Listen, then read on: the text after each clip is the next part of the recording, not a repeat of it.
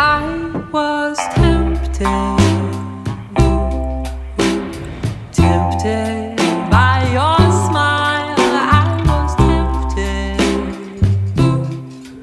and for a little while I was certain